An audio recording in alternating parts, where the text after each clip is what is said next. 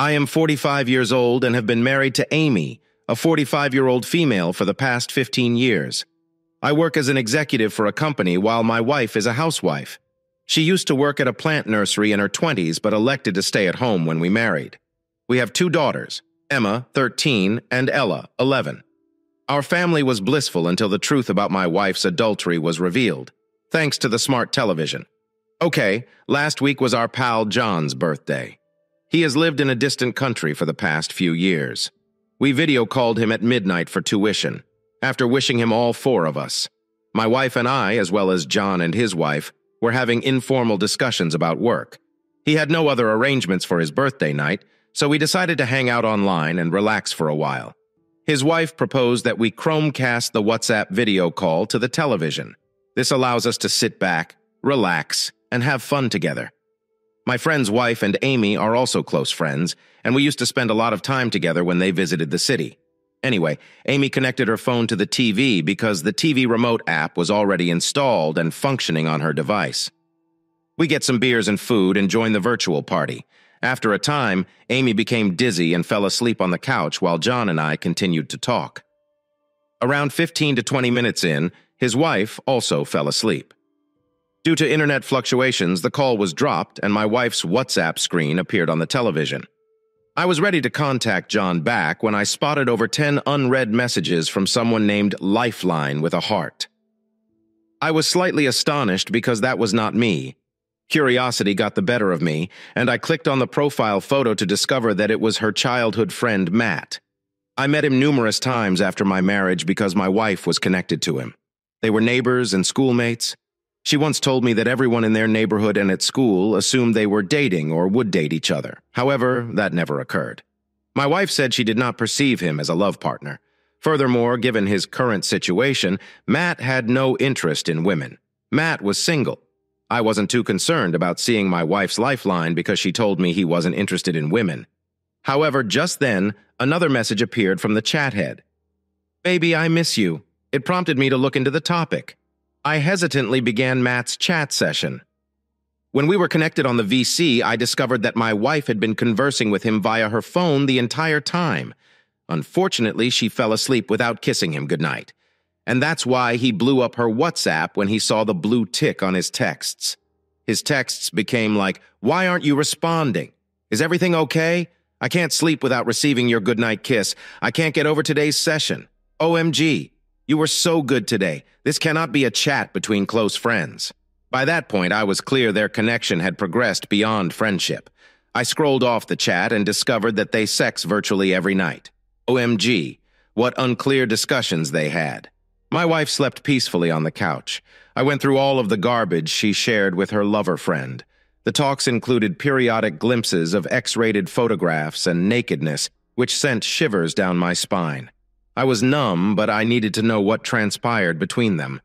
I didn't know how to take screenshots of these TV chats, so I used my phone to capture images of the screen. I was finished after four or five photos. I did not care about acquiring evidence. I wanted to know how and why. I wanted to yell, howl, and vent my rage. However, I didn't know how to confront her. It was 2 a.m. I was already down with many beers and a couple shots of scotch. I scarcely had the energy to walk or think. I just kept scrolling through the chat, my broken marriage in front of me on the large screen. At that point, everything appeared to be baseless. She shared every detail with her lover, even the details of our most intimate experiences. In fact, after each intimate time we shared, she would recreate it with him to make up for his feelings. I felt disgusted. I wanted to know when it all started. As a result, I continued scrolling, but it appeared to be a never-ending scene that just became deeper, even after reaching the deepest corner. Matt's communications had ended, and the home was dead silent. I felt haunted. I grabbed a cushion from beside me to make sure I wasn't dreaming or hallucinating. I was still browsing lazily when Amy abruptly awoke from her slumber. Her sleepy mind suddenly became hyperactive on seeing her dual life on the TV screen. She grabbed the remote from my hand and turned off the television. She pounced on her phone, disconnecting it from the TV. I just stared at her, bewildered. I witnessed her open her WhatsApp conversation, scroll through her lover's communication, and then close the app with a big sigh. The lengthy sigh was a gesture of surrender. She recognized that I knew everything. She cradled my face with her hands and moved closer to me, saying, Baby, I can explain. Please listen to me. I returned her stare and said, Yes, please explain. She was astounded by my reaction. She was expecting me to overreact and refuse to listen to her. I would have done the same thing if it were 2:30 p.m. instead of 2:30 a.m. I was on the verge of passing out, partially due to the booze and primarily due to the unraveling truth. Damn it, explain. She was at a loss for words. She mumbled. Well, I said, you know what? Do not try. You know you're screwed for saying this. I staggered my way into the bedroom. She followed me. I turned towards her and slammed the door in her face, telling her to keep out. I heard her knock a couple times, but I dropped out quickly. The next morning, I awoke heavy headed and almost forgetful of what had transpired the night before. I went out of the room to get a bottle of water. My throat was dry. When she saw me go out of the room, she raced towards me, and with that sight, all of the horrible memories from the previous night came flooding back. She tried to hug me, but I ordered her to stop. She retreated, teary eyed and puppy faced. She explained that I misunderstood. I ignored her and headed to the refrigerator to get a water bottle. She kept nagging me that I was exaggerating, and he was only a buddy. They never had a physical relationship. It was only for talks. It was simply a good flirtation. I wasn't prepared for a confrontation yet, but her trite justifications irritated me, so I screamed louder. Really? Who? The Earth transmits nudes to male buddies. And what does sexting mean? Isn't he supposed to be uninterested in women? So, how the hell did he get interested in your private parts?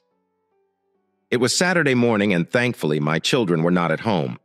They spent the week with my parents, enjoying their summer vacation. I looked at her and asked for an explanation. My mental state was pathetic. I wanted to get to the heart of the matter, although knowing it would shatter me. I wanted her to confess every detail of her crime, yet I wanted to throw up. When she opened her mouth, I grinded my teeth, begging her to speak, but then shut her up when she did. I don't know what I was doing. I realize I was unreasonable, but how else would someone react after discovering that he had been cheated for the last 15 years and that his entire marital life had been a sham? I drank the full bottle of water in one sitting and then threatened to pummel the dual faced lover if she didn't reveal everything right away. Black and blue. This time, instead of concealing or pleading, she told the truth. She confessed that she and Matt had always been lovers. They started a physical relationship in high school and have kept it going ever since. However, Matt was a slacker who told Amy that he couldn't afford to provide for her. To provide some context, Matt is a school dropout who has never earned a penny on his own. His parents had purchased many decent residences in the suburbs. His rental yield is sufficient to cover his expenses. However, that is insufficient to support two people. During my visits to Amy's house, I had the opportunity to meet his parents several times. They were concerned about Matt's sloth and asked Amy for advice on getting a job or starting a business. Everyone but Matt was concerned about his future. Anyway, back on track. Amy admitted that she had broken up with Matt several times because of his commitment concerns. However, he was always able to win her back.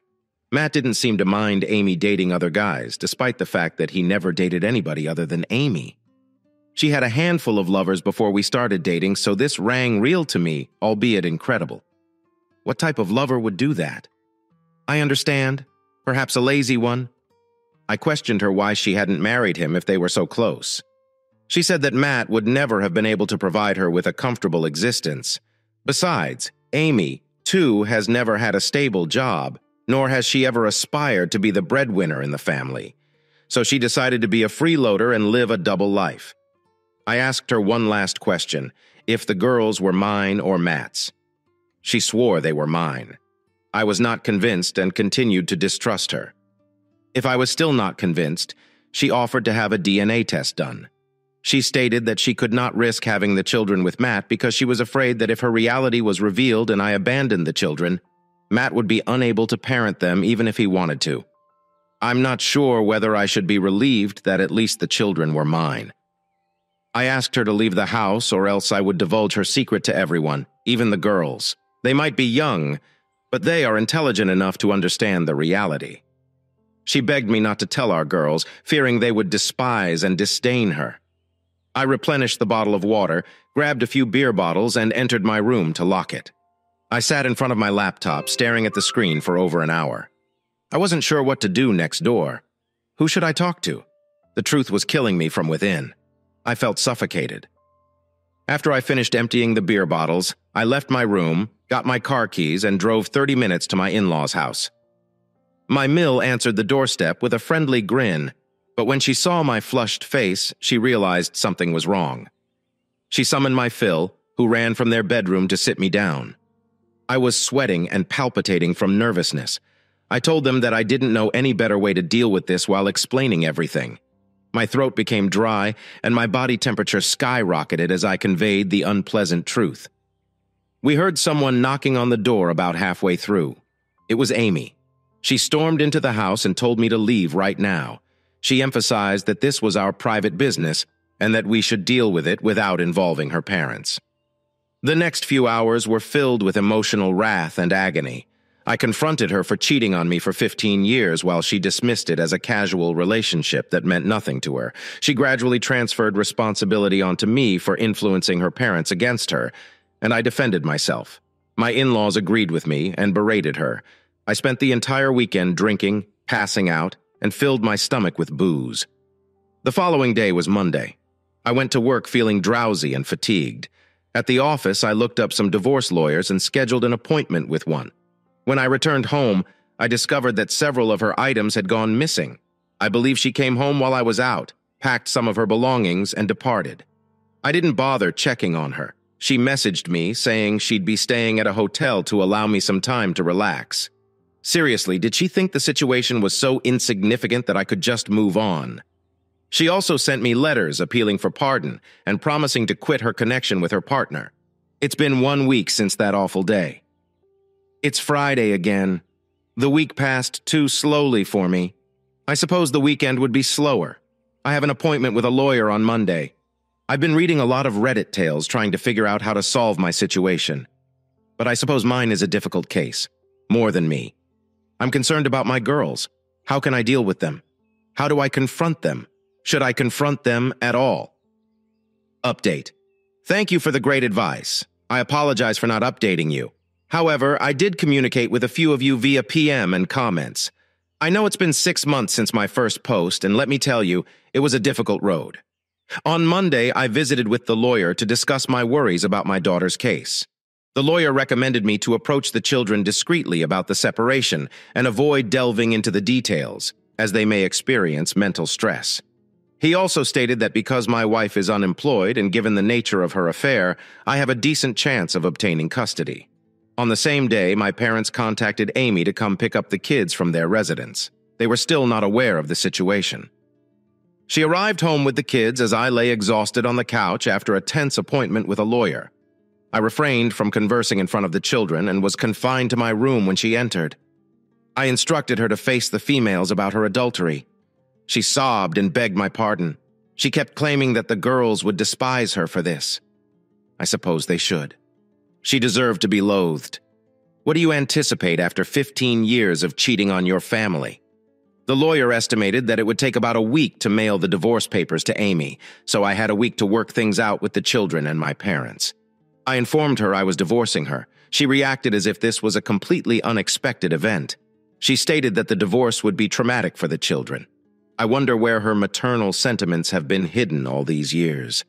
I maintained that my choice was permanent and gave her a week to confront the girls in whatever way she wanted, or I would tell them the truth. I grabbed my pillows and fell asleep on the bedroom couch. That entire week, I left the house early in the morning and returned late in the evening as the weekend approached. She moaned and cried all night, sometimes so intensely that I woke up. I felt sorrow for her. But how did she keep doing this for so long? What were her thoughts? That she'd never be caught. She would have had numerous opportunity to cut off her beloved. Nevertheless, she remained with him. Our intimate talk was about my insecurities, deep, dark secrets, and all she had revealed to her partner. How could I possibly have forgotten all of those? On Friday evening, she informed me that she had devised a strategy to confront the females. The following day, I nodded. On Saturday after breakfast, she informed the children that we had some news for them. She informed me that I had been transferred to a different nation and would be going out for a few years. I was stunned as my kid glanced at me. I questioned her sarcastically in front of the girls. Does this imply I have to leave the house? Right. She rolled her eyes and told me to shut talking. She answered, Well, if the house is too big for the three of us, we can move to my parents' house. We can subsequently find a smaller space. The girls were puzzled by this. They were young, but not so inexperienced that they didn't comprehend the game she was playing. My younger daughter told me that what she's saying doesn't make sense, yet the elder one's query is direct. Are you two getting divorced? I gave Amy a harsh look and asked her to tell the truth. She sighed and broke down. The girls looked to me for the solutions. I assured them that they were correct about our divorce. I explained that we no longer felt compatible with each other. My older daughter suggested that I might be having an affair, and that's why Amy was crying. She took her mother's hand and inquired if I was cheating on Amy. Instead of clearing the air, Amy hugged her with anticipation. The girls gave me a disdainful expression. I lost my mind for that manipulative woman. I was astounded to see how she turned the table around me. I told my daughters everything, how I found out and what their mother was up to. Of course, removing the A-plus content. Amy shouted at me for backing out of my statement. She told me that I allowed her the freedom to explain to the girls why I didn't support her when she informed them of my transfer. The matter had spiraled out of control so I decided to stand firm against Amy's manipulative behavior. I called my parents and in-laws and begged them to come down immediately. Both of them reside 25 to 30 minutes away, and within an hour, all four of them had arrived at my place. That one hour was a nightmare for me, something I'll never forget. My girls cried as they hugged me and saw this. Amy tried to justify her conduct. She even went as far as calling me a liar and manipulating the girls against me. She finally stopped when I informed her that I had photographs of those discussions. My parents were surprised to find us in that state. I described the incident briefly. Everyone detested Amy for her wicked behavior. She kept sobbing and pleading for pardon. For a moment, I felt sorry for her. It saddens me, too, to see her in this state. But she brought it on herself. Instead of portraying me as the culprit in front of my girls, she could have just explained that we felt this way out of love or whatever but she wasn't willing to accept even the smallest amount of responsibility. And now, her horrible truth is exposed in front of everyone, even her daughters. I made it plain that we are going through with the divorce and the girls will be with me. I requested her parents to take her away. Even the girls wanted her to leave. My parents chose to stay for a few weeks and care for us. It was a difficult moment for us, but we are delighted we came out strong. I enrolled all three of us in therapy, and we are now in a much better mental space. My divorce proceedings are ongoing. Amy has claimed a part of my house, which I am contesting because she does not deserve anything. Surprisingly, she did not contest custody of the children, allowing us to easily and clearly grasp her objectives throughout the battle. Even after that, Amy promised to cut off all contact with her lover. However, after moving in with her parents, she was discovered visiting her lover's home. Her siblings caught her and humiliated her to the point where she had to leave the house. Her parents embarrassed Matt and alerted his parents about his activities.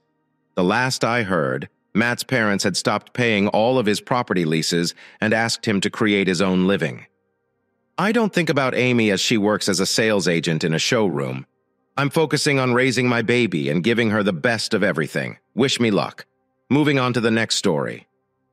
Story 2 Four-year-old son's questionable behavior at preschool revealed my wife's adultery. I caught her on a concealed camera and filed for divorce. A 32-year-old male have been married to my wife, 31 for four years, and between us we have a four-year-old boy. Our son is attending preschool. I work lengthy shifts as the major breadwinner. My wife is in between jobs because she did not enjoy her last career. At least she is home to care for our son. We were recently called into our son's preschool. They claimed that he began engaging in inappropriate behavior around three weeks ago, attempting to kiss ladies, lift their skirts, and touch their buttocks. My wife and I were flabbergasted. We couldn't explain it because I'm constantly careful of never behaving that way around my child. We are quite particular about the programs he is allowed to watch, and he is always accompanied by a parent when he visits or goes on playdates. As far as I knew, the only other place he could have gotten such weird beliefs was from school.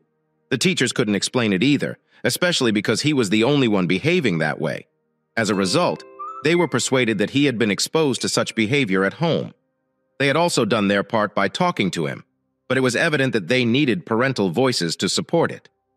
We discussed it with our son and decided to seek help if the conduct persisted.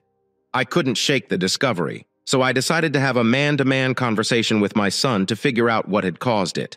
I waited until my wife was gone before asking him about his actions and his innocent innocence. He explained to me that the uncle who came over while I was at work done it to his mother, and she had never chastised him in his four-year-old thinking. He assumed that meant it was fine.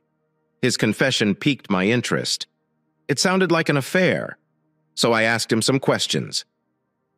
How often does the uncle come over? Most days. What do they do with mom? Kiss, giggle, and whisper? How long does he stay here? Until I'm going to return from work. I was infuriated. I was working long hours to support our family and rarely getting enough sleep. Meanwhile, she was spending all of her time cheating on me rather than seeking for a new career or being more present with our son. I intend to catch her in the act. So I devised a strategy for my plan. I faced a trip to see my parents with my son. I promised her we'd stay for a few days to free up her schedule, as she'd been our son's primary caregiver since she lost her job. She did not object or suspect anything.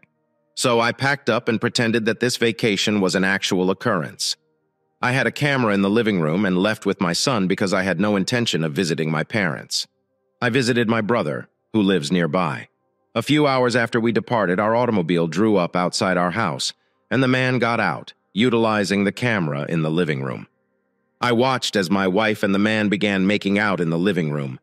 I was enraged beyond belief, saddened for my family, and devastated for my son.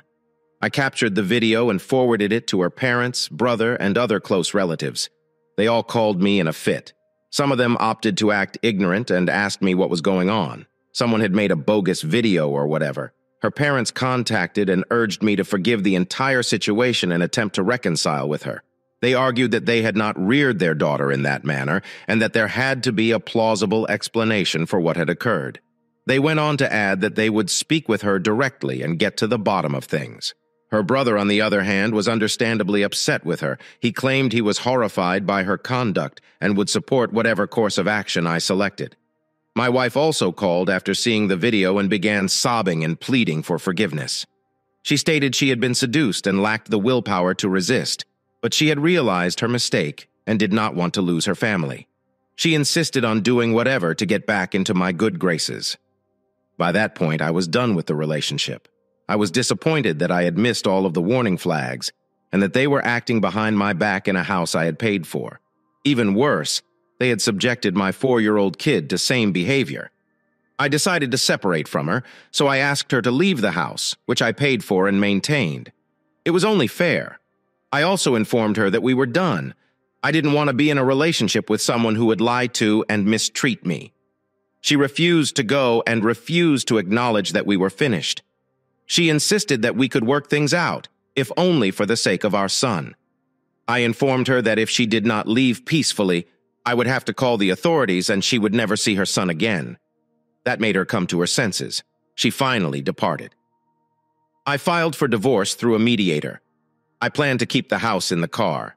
We had previously kept our funds separate, and I negotiated no alimony because of the circumstances that had led to the breakdown of our marriage, and I would battle for at least half or more custody. I have no objections to co-parenting, and I will thoroughly oversee what my child is exposed to. I plan to use her acts against her in the divorce to obtain what I want, and my attorney says the ball is in my court. I can't wait to get through this nightmare and go on with my life. Here is the next story. I am a 30-year-old female who was meant to marry my ex-fiancé, Scott, 32, five years ago, but that did not happen. Scott and I had been together for approximately two years before he proposed, and I said yes.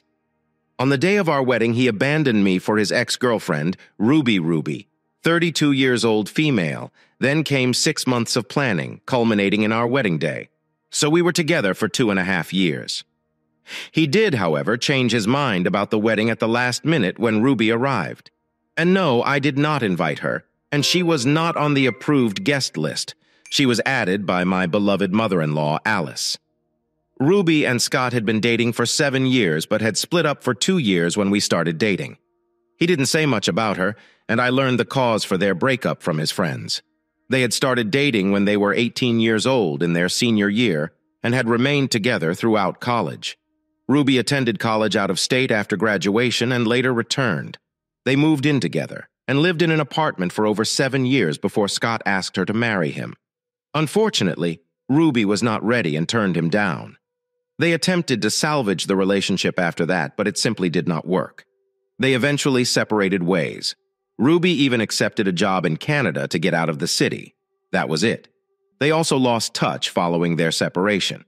I went to the same college as Scott, although I was his junior and didn't communicate with him much. I met Scott again at a co-worker's Christmas dinner and felt a connection there, so we ended up leaving the party after a while and going out on our own. We spent a great day together and agreed to stay in touch.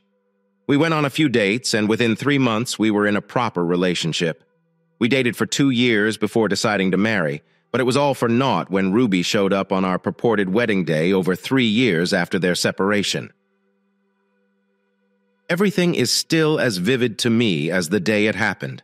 I'd already walked down the aisle and we were up on the podium when he admitted that because we were in a chapel, he couldn't bring himself to lie and needed to talk to me about something very important.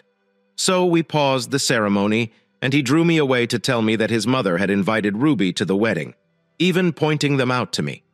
Alice and Ruby were seated in the front row, Alice looking smug as hell in her off-white outfit. I mean, she had worn something close to white to my wedding, and Ruby was looking down at her feet. I wasn't shocked Alice had invited Scott's ex to disrupt the wedding because she had made it clear from the start of our relationship that she didn't like me at all. It was undoubtedly because I am not the type of daughter-in-law she desired. I'm not a soft speaker. I am not what you would call sweet or timid, so I'm not the ideal daughter-in-law, according to Alice. Not that they are horrible attributes, but I didn't have any of them. I was always too loud, aggressive, or overly outspoken for her tastes. So, of course, she brought someone she thought was a better fit for their family than I was so she went ahead and invited the better daughter-in-law to the wedding so that she could better control and manipulate her son in the future.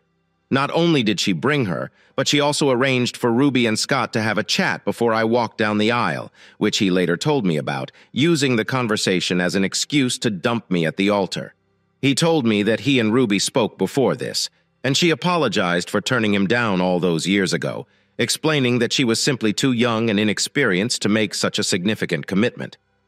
But now, over three years later, she realized she'd made a mistake since she knew she'd never find someone better than him, and she'd returned to plead for one more chance to salvage their relationship. That was all it took to erase two years of our relationship, and he was back at square one again. Obviously, I attempted to argue with him and persuade him to stay, but he informed me that getting married would be a mistake now that he recognized he had never truly fallen out of love with Ruby, and I was merely a stand-in for the lady he truly loved. His remarks stung, but I was desperate and attempted to persuade him to stay. Nonetheless, it did not work, and I realized that it was all for naught when he asked me to return my engagement ring. I lost my calm and threw it on the ground before walking out and driving myself away from the wedding. All of the guests and anything related to Scott. I kept driving till I arrived at the B, which was a bit outside of town, and I stayed there for a few days. Scott paid off all of the wedding organizers and vendors' fees, and happily, I didn't have to spend any of my hard-earned money on anything other than my outfit. The only time we met after that was when I returned home to collect my belongings after nearly two weeks at the wedding. He and Ruby were at home at the time, and they didn't even stop hugging when I stepped in with a friend to pack up my belongings and depart. That is how bad they were.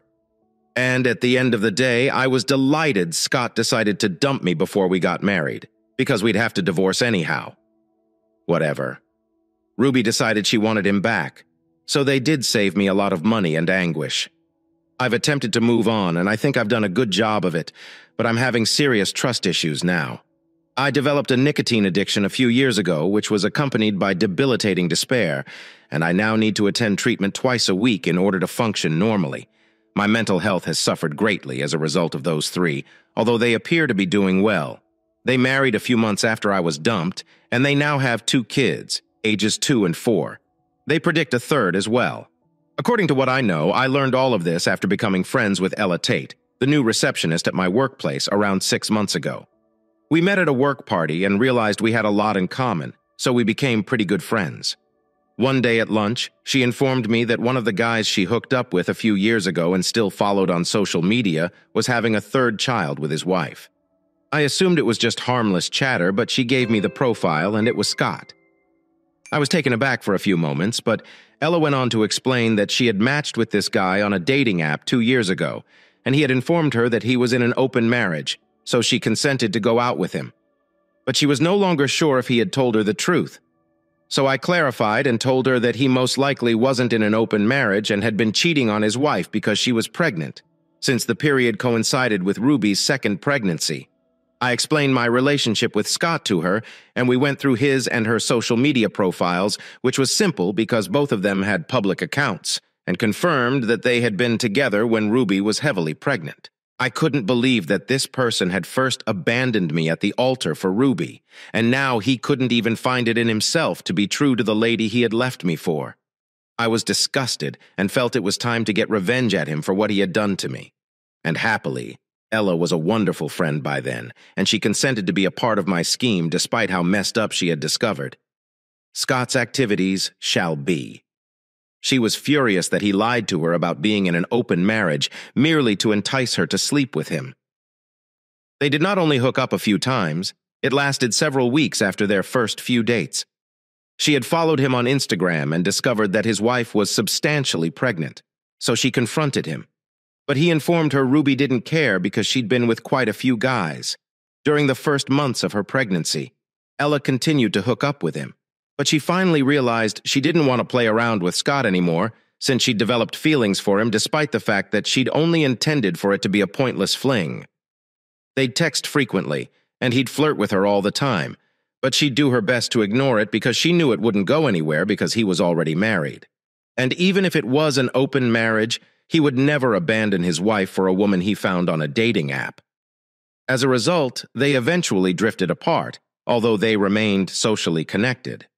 When I learned how Ella and Scott met, Ruby was already four months pregnant, and Scott had announced it on social media with a post. That's what Ella had shown me.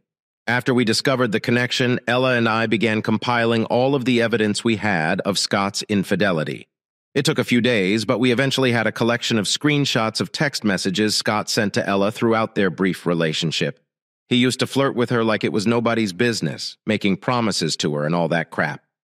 There were additional screenshots of him making plans to meet Ella, and he'd even invited her over to his house while Ruby was sleeping. She's a heavy sleeper who doesn't wake up for hours. I was disgusted and repulsed that he was doing this behind her back, especially since she was carrying his second kid. But that, Scott, is for you. Ella then had the idea to raise the bar even higher. I believe we made a mistake here. The two of us got way too caught up in the retribution and I believe we went a bit insane when Ruby had six months. Ella and I thought it was time to put Scott to the test again, so Ella reached out to him again. We had no idea what to anticipate because they hadn't really been friends since they stopped talking two years ago. But Scott still said, and guess what? He was still flirting with Ella and reminiscing about their past since Ruby was pregnant again, and this time she was moodier and bigger than before.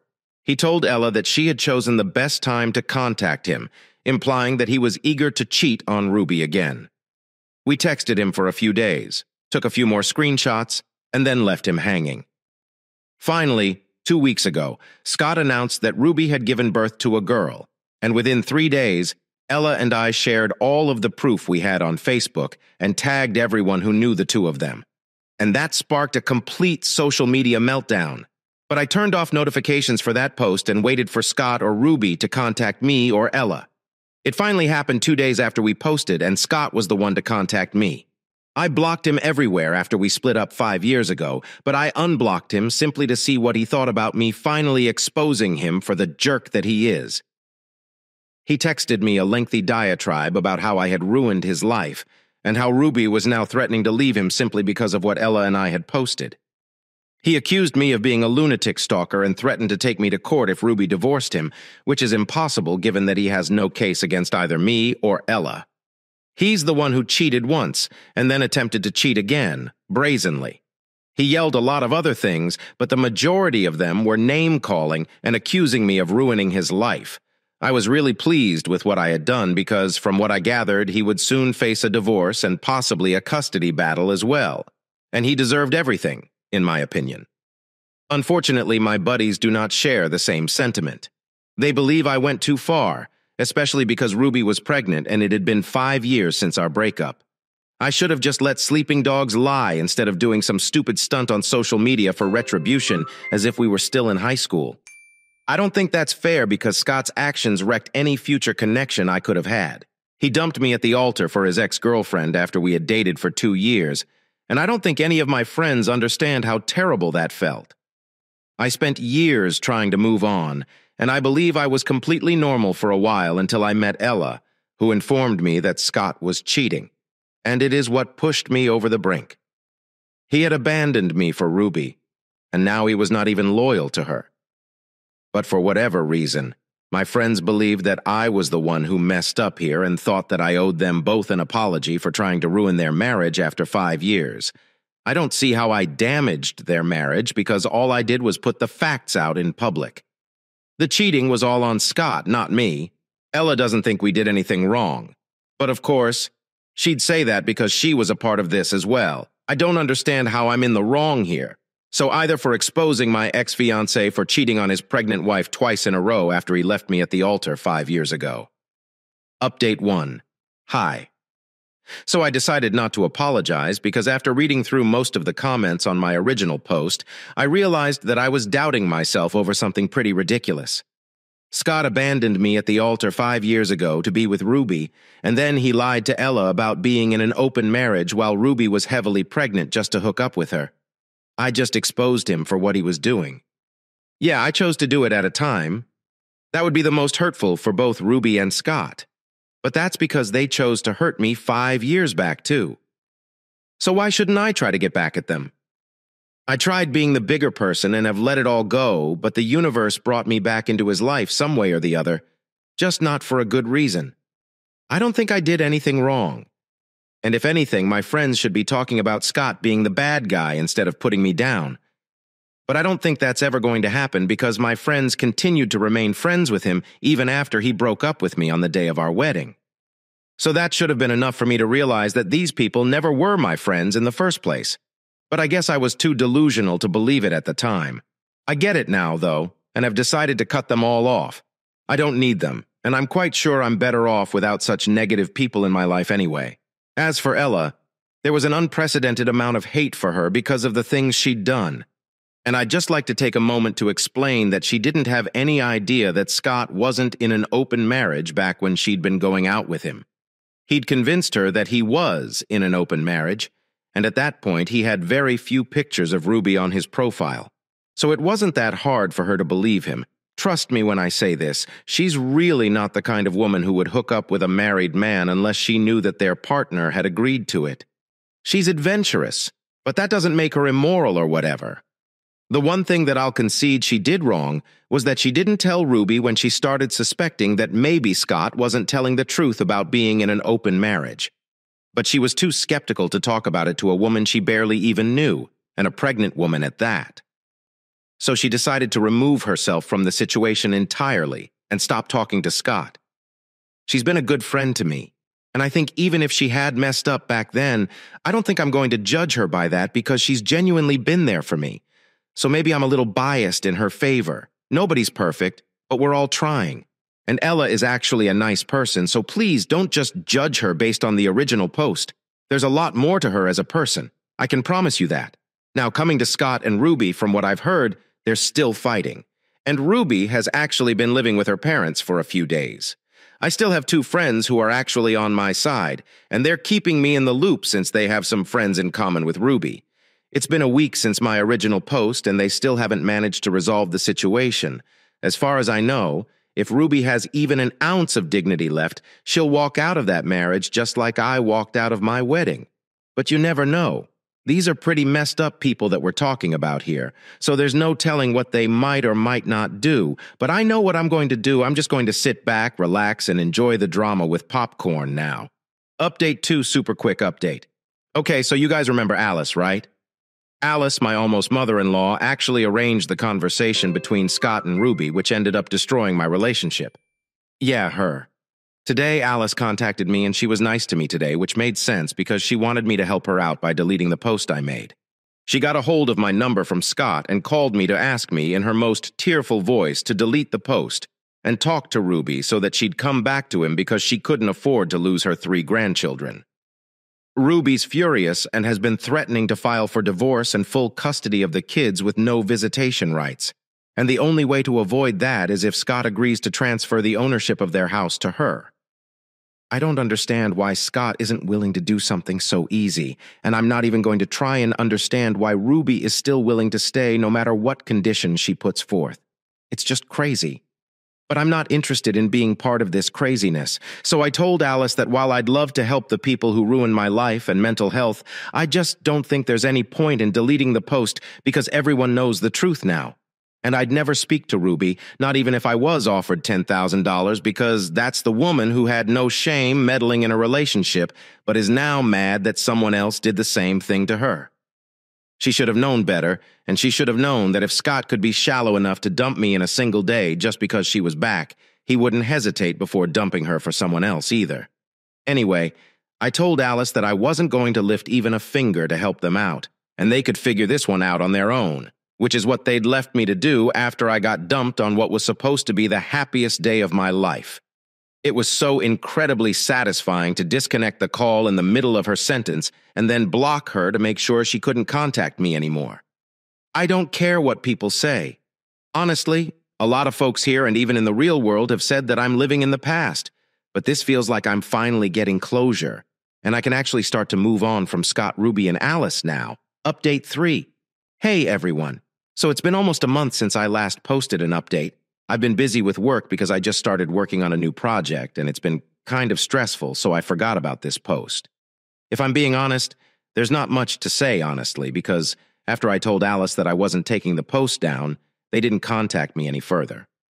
What I do know, however, is that now Scott and Ruby are getting divorced and are fighting over who gets to keep the house in the settlement. They're also in a custody battle because apparently Ruby had demanded full custody of her kids with child support and only supervised visits once a month. Ella and I have had a good laugh over this because the guy really has nobody else to blame at this point apart from himself. Obviously, he had every chance to wake up and become a decent guy after he left me and fully committed to Ruby, which shouldn't have been hard because they dated for seven years already. I'm guessing he cheated on her then as well, so this is probably nothing new for him. Come to think of it, he must have cheated on two, but I never found out about it. This just proves that life always does come full circle because they're the ones suffering now. And I'm the one doing way better than I was in every aspect mentally, physically, and definitely financially. I did what I had to do and I got my closure. I'm going to wish them nothing but good luck for the future. Now, because I think that they're going to need it. Thank you for taking time to hear today's story. If you enjoyed this article, please like and subscribe if you haven't already. If you have a story to tell about your or someone else's situation, please do not hesitate to contact me. Take care.